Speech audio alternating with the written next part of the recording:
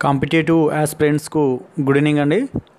ఈరోజు మనం జైన మతం సంబంధించినటువంటి ప్రీవియస్ బిట్లు గత ఎగ్జామ్స్లలో ఇటు టీఎస్పిఎస్ కానీ అటు ఏపీపీఎస్ కానీ అదేవిధంగా ఆర్ఆర్బి ఎన్టీపీసీ ఆర్ఆర్సి మొదలైన ఎగ్జామ్స్లలో ఈ ఏరియాలో జైన మతం ఈ టాపిక్లో ప్రీవియస్ క్వశ్చన్స్ గత ఎగ్జామ్స్లో ఏ విధంగా అడిగారు అన్నటువంటి విషయాలను ఈ వీడియోలో డిస్కషన్ చేద్దామండి.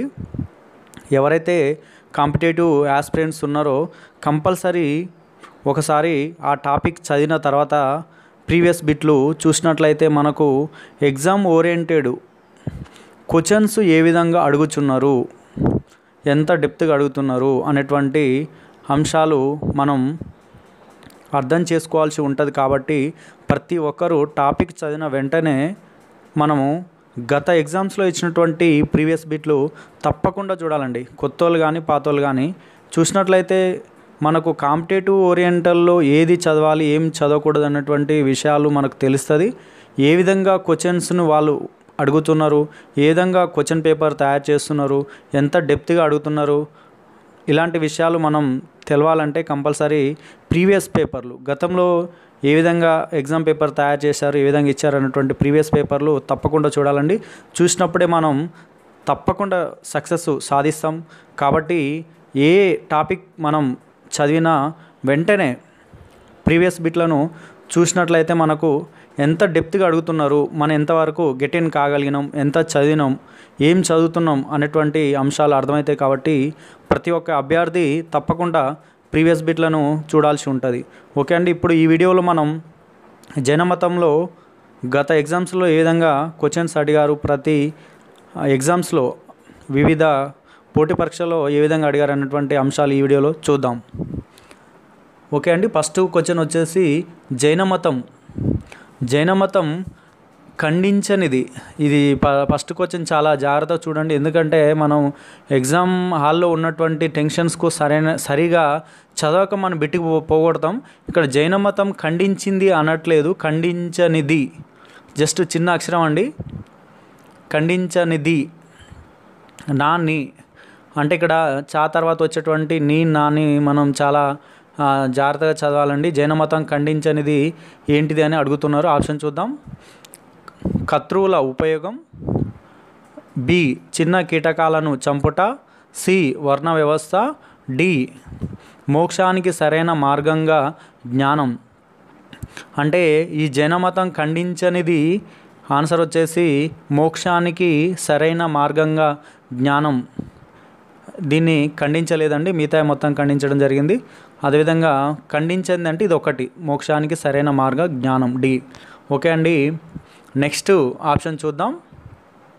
జైన మతం దాని అధిబోధిక ఆలోచనలను అది అది భౌతిక ఆలోచనల నుండి గ్రహించింది. జైన మతం దాని అధిభౌతిక ఆలోచనల నుండి గ్రహించింది.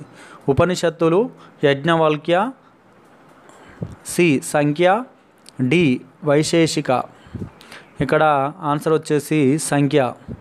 అదేవిధంగా మూడవ క్వశ్చన్ చూద్దామండి. మూడవ క్వశ్చను తర్వాత జైన మతాన్ని ప్రసిద్ధికెక్కిన మహావరినిచే నడపబడిన శాఖ శాఖ యొక్క మొదటి పేరు. తర్వాత జైన మతాన్ని ఒక్కోసారి ఇట్లా కన్ఫ్యూజ్ అడుగుతాం జరుగుతుంటాడండి. తర్వాత జైన మతం మతంని ప్రసిద్ధికెక్కిన మహావీరునిచే నడపబడిన శాఖ యొక్క మొదటి పేరేమి? బీనా కేవలి నిర్గాంధ తీర్థాంకర. మనకు ఆన్సర్ వచ్చేసి తీర్థాంకర. తీర్థాంకర. ఓకే అండి నెక్స్ట్ క్వశ్చన్ చూద్దాం. జైన మతం యొక్క తత్వాన్ని ఏమని పిలుస్తారు? జైన మతం యొక్క తత్వాన్ని ఏమని పిలుస్తారు?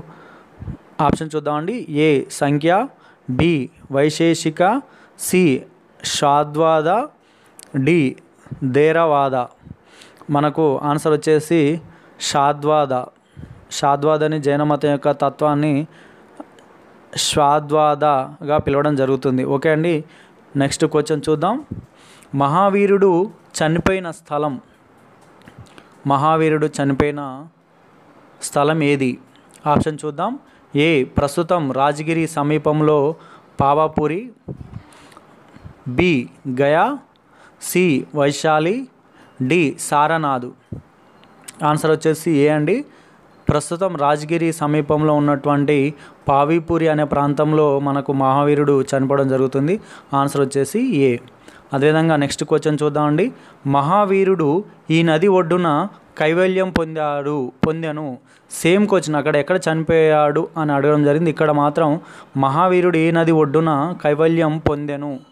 అని అడగడం జరిగింది. ఆప్షన్ చూద్దాం. A. Rijupalika B. Niranjana C. Gomti D. Ganga నది ఇక్కడ ఆన్సర్ వచ్చేసి ఏ అండి? రిజుపాలిక అనేటువంటి నది పక్కన మనకు తీర్థాంకరుడు మహావీరుడు మహావీర తీర్థాంకరుడు ఇక్కడ కైవల్యం పొందడం జరిగింది. ఆన్సర్ వచ్చేసి రిజుపాలక అదేవిధంగా నెక్స్ట్ క్వశ్చన్ చూద్దామండి. మొదటి జైన తీర్థాంకరుని పేరు. మొత్తం మనం ఇరవై మూడు తీర్థాంకరులు అనుకుంటే ఇరవై నాలుగు తీర్థాంకరుడు మహావీరునిగా చెప్పడం జరుగుతుంది. దాంట్లో మొదటి జైన తీర్థాంకరుని పేరు. ఆప్షన్ చూద్దాం. ఏ శాంతనాథుడు బి వృషభనాథుడు సి మహావీరుడు డి నిమినాథుడు. ఇక్కడ ఆన్సర్ వచ్చేసి బి వృషభనాథుడు అండి ఆన్సరు వృషభనాథుడు. నెక్స్ట్ క్వశ్చన్ చూద్దాం. సల్లేఖనం ఈ మతానికి సంబంధించింది. సల్లేఖనం ఈ మతానికి సంబంధించింది. ఆప్షన్ చూద్దాం. ఏ బౌద్ధం. బి శైవం. సి సిక్కు మతం. డి జైనం.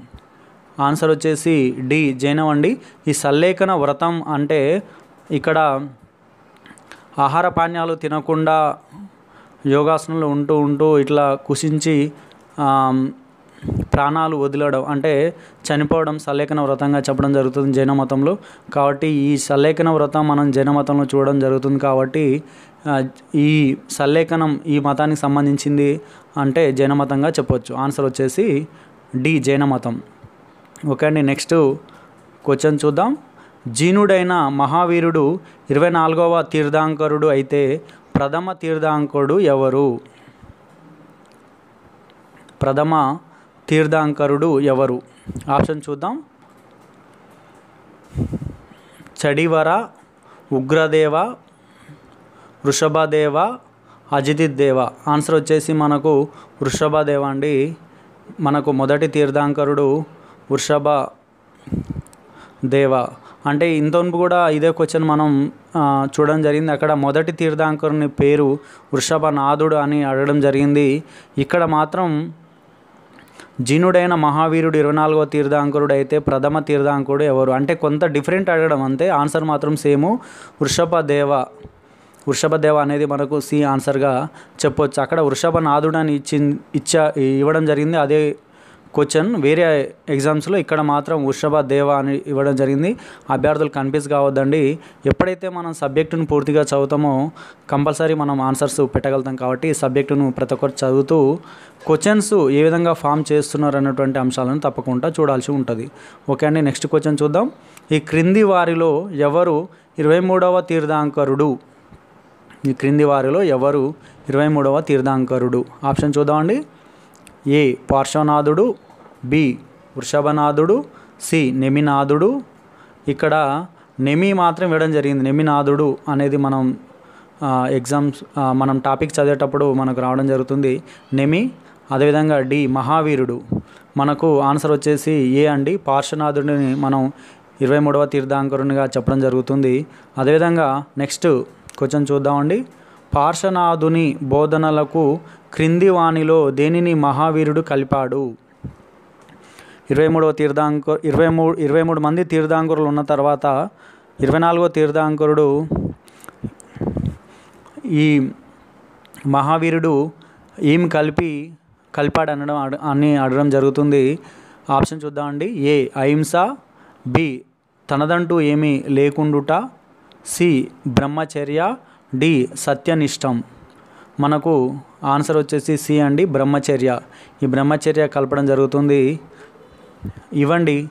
మనం జైన మతం సంబంధించినటువంటి ఏరియాలో ఏ విధంగా క్వశ్చన్స్ అడుగుతున్నారనడానికి కొన్ని మనకు కొన్ని క్వశ్చన్స్ సేకరించి మేము ముందుకు తీసుకురావడం జరిగింది.